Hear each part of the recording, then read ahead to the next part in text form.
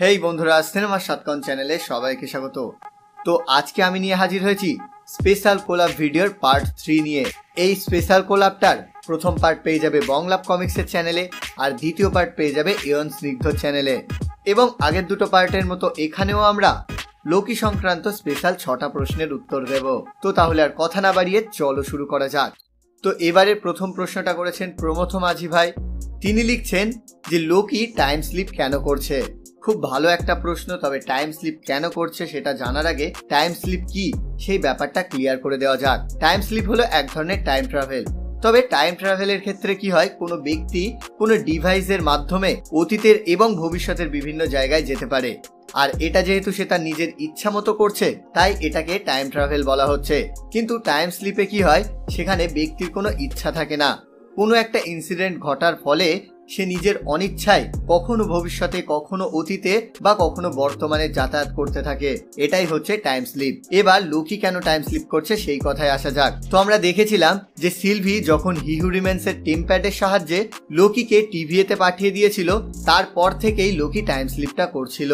এবার টেমপ্যাডের মাধ্যমে কি করা যায় তা আমরা সকলেই জানি। টেমপ্যাডের মাধ্যমে যে কোনো ইউনিভার্সের যে কোনো সময়ে পৌঁছে যাওয়া যায়। তবে টিভি এর টেমপ্যাডে তোমাকে স্ক্রিন টাচ করে অতীতে যাবে, ভবিষ্যতে যাবে বা অন্যান্য সংক্রান্ত কাজগুলোকে সিলেক্ট করে করতে হবে। কিন্তু হিহুরিমেন্সের টেমপ্যাডে জাস্ট তুমি টাচ করে দিলে এবং মাইন্ডে যেটা ভাবছিলে সেটাই তোমার সামনে হবে। আর আমাদের সিলভি আগে টিভি এর টেম্প্যাড ইউজ করলেও হিউরিমেন্সের এই আপডেটেড টেম্প্যাড এর আগে ইউজ করেনি।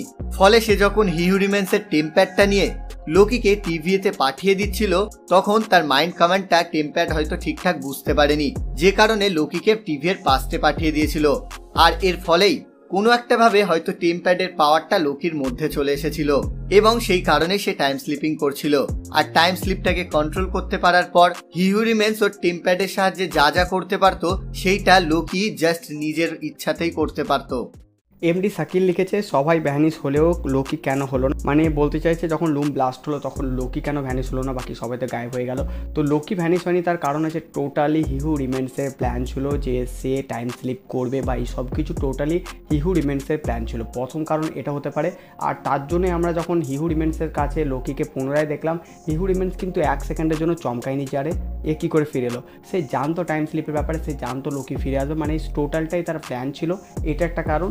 দ্বিতীয় একটা কারণ হতে পারে যেহেতু টাইম স্লিপ লোকির মধ্যে প্রবলেম শুরু হয়ে যায় প্রথম এপিসোড থেকেই।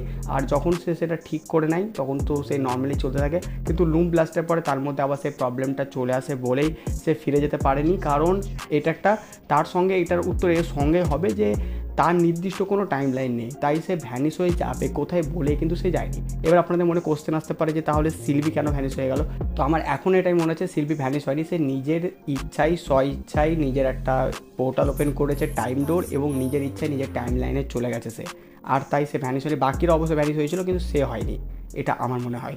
এরপরে আমাদের মিস্টার টনি বলছে যে, আমরা কি লকিকে অ্যাভেঞ্জার্স সিক্রেট ওয়ার্সে দেখতে পাবো? এবং অ্যান্সার হচ্ছে, বন্ধুরা হ্যাঁ আবার না। না বললাম এর কারণটা হচ্ছে যে লোকির যে অ্যাক্টার টম হিডলস্টন উনি একটা ইন্টারভিউতে বলেছেন যে, ওনার এই ক্যারেক্টার মানে লোকির জার্নি এইখানে শেষ হয়েছে। মানে বলতে পারো যে অ্যাক্টারের দিক থেকে আপাতত ক্যারেক্টার এইখানে এন্ড হয়ে গেছে। বাট লজিক্যালি সিনেম্যাটিক ইউনিভার্সের অ্যাঙ্গেল থেকে ভাবতে গেলে, রই কিন্তু এখনও বেঁচে রয়েছে এবং সেটা খুব বড় দায়িত্বের মধ্যে রয়েছে। হচ্ছে সো তাকে তো ভাই পরে আনতেই হবে একটা বড় কামব্যাক দেখাতে গেলে। মানে সে কিন্তু বর্তমানে হিউ রিমেন্স এর লেভেলের ক্যারেক্টার সো আমার যেমন মনে হয় আনা হবে, কিন্তু আনবে হচ্ছে সিক্রেট ওয়ার্সে কারণ অ্যাভেঞ্জার্স ক্যাং ডাইনেস্টি হবে হচ্ছে পুরোপুরি ক্যাং এর মুভি যেরকম ইনফিনিটি ওয়ার ছিল হচ্ছে থ্যানোসের সো আমার যা মনে হয়, যেহেতু লোকি এখন হিউ রিমেন্স বা ক্যাং এর লেভেলের ক্যারেক্টার সো তাকে আনবেও অ্যাভেঞ্জার্স সিক্রেট ওয়ার্সেই ঠিক আছে? কারণ অ্যাভেঞ্জার্স ক্যাং ডাইনেস্ট সিনেমাতে ক্যাংই জিতবে এবং যখন আর কারোর প্রতি আমাদের আশা থাকবে না এবং আমরা সমস্ত হাল ছেড়ে দেব, তখনই আমাদের লোকির এন্ট্রি হবে একটা বড় সড়ো ক্যারেক্টার হিসেবে গ্যাংয়ের সামনে এবং সেইটাই সব থেকে পারফেক্ট মোমেন্ট হবে আমাদের এই লোকির জন্য এমসুর মধ্যে কাম করা। সো হ্যাঁ আমার যেমন সিক্রেট ওয়ার্সের লোকি তো আসবেই আসবে। নেক্সট এমডি রিয়ন লিখেছে স্যাক্রেট টাইম লাইন ও ব্রাঞ্চ টাইম লাইনের মধ্যে পার্থক্য। তো স্যাক্রেট টাইম লাইন হচ্ছে একটা নির্দিষ্ট নিয়ম অনুযায়ী যে টাইম লাইন তৈরি হচ্ছে, সেটাকে স্যাক্রেট টাইম লাইন বলা হচ্ছে, যেখানে সব কিছু নিয়ম আগে থেকে লেখা আছে যে এই পুরো ইভেন্টটা যেটা হবে, সেটা স্যাক্রেট টাইম লাইন এবং সেই নিয়মের বাইরে যদি কিছু হয়, সেটাকে ব্রাঞ্চ টাইম লাইন বলা হচ্ছে। যেমন ধরুন, আমি জন্ম নিয়েছি, আমার মৃত্যু হবে, তার মধ্যে আমি মাধ্যমিক পাস করব এইচএস পাস করব গ্র্যাজুয়েশন করব। এটা টোটালটা আমার একটা সময়রেখা এবার সময়রেখায় আমি মাধ্যমিক পাস করব এইচএস দেবো সব কিছু লেখা আছে। তো এটা একটা স্যাক্রেট টাইম লাইন হিসেবে চলছে আমি ভাবছি। মানে সমান হিসেবে চলছে। এবার যেদিন আমার মাধ্যমিক পরীক্ষা দেওয়ার কথা, সেদিন যদি আমি মাধ্যমিক পরীক্ষা দিতে না চাই তাহলে কী হবে? আমি তো মাধ্যমিক ফেল করব। তাহলে সেখান থেকে একটা ব্রাঞ্চের সৃষ্টি হবে। তো সেখান থেকে যেহেতু আমি আমার ভাগ্যে ছিল আমি মাধ্যমিক পাস করছি। কিন্তু আমি যেহেতু মাধ্যমিক পরীক্ষা দিতে যাচ্ছি না, সেহেতু সেখান থেকে আমার একটা নতুন ভাগ্য, একটা নতুন পৃথিবী, একটা নতুন কিছু পসিবিলিটি শুরু হচ্ছে। আর তাই সেটা ব্রাঞ্চের সৃষ্টি করছে। এই একটা কারণ, যেটা নির্দিষ্ট টাইম লাইন সেটা হচ্ছে স্যাক্রেট টাইম লাইন আর সেখান থেকে কোনো একটা নির্দিষ্ট কারোর ডিসিশন যেটা একটা সিঙ্গেল চয়েস যার কারণে একটা মাল্টিপল পসিবিলিটিস মানে পসিবিলিটিসের সৃষ্টি হয়, সেটা হচ্ছে ব্রাঞ্চ টাইম লাইন তো প্রতিটা জায়গায় আমরা এরকম দেখেছি লোকি কী হয়? লোকি দু হাজার বারোতে অ্যাসগার্ড চলে যায় থরটাকে ধরে নিয়ে যায়। কিন্তু সেখানে কি হয়েছে? সে টেস্টারেট নিয়ে পালিয়ে যায়। সেখানে একটা সিঙ্গেল চয়েস সে একটা চয়েস চেঞ্জ করে, তারপরে একটা পসিবিলিটিস চেঞ্জ হয়ে যায় এবং তার বদলে সে টিভি চলে যায় এবং সব কিছু আমরা জানতে পারি।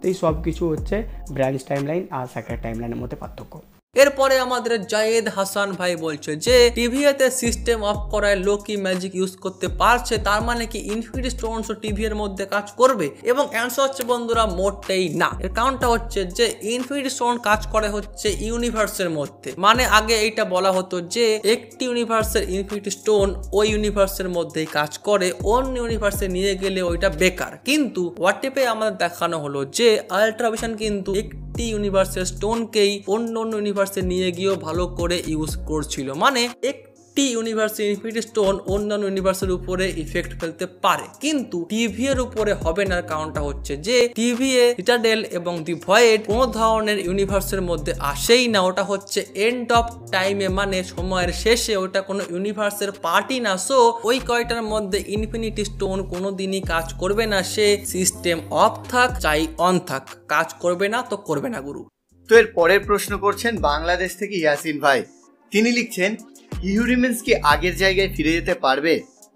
তো এটার উত্তরে প্রথমেই বলি যে হিহুরিমেন্স মারা গেছে। কারণ এপিসোড সিক্সে লোকির কাছে দুটো অপশন ছিল। এক, সিলভিকে মেরে ফেলে হিহুরিমেন্সকে বাঁচিয়ে রাখা। আর দুই হিহুরিমেন্সকে সিলভির হাতে মরতে দিয়ে টেম্পেরার লুমটাকে উড়িয়ে দিয়ে নিজে হিউরিমেন্সের জায়গা নিয়ে ব্রাঞ্চ টাইমলাইনগুলোকে প্রোটেক্ট করা। আর আমরা সিরিজের শেষেই দেখেছি লোকি দ্বিতীয়টাকেই বেছে নিয়েছে। এর ফলে হিহুরিমেন্স পার্মানেন্ট ভাবে মারা গেছে। এরপর টিভি এর কাজ হচ্ছে নজর রাখা যাতে হিউরিমেন্সের অন্যান্য ভেরিয়েন্টগুলো হিউরিমেন্স না হয়ে ওঠা। কিন্তু হিউরিমেন্সেরই আর একটা ভেরিয়েন্ট টিভিএতে রয়ে গেছে, আর সেটা হলো ভিক্টর টাইমলি।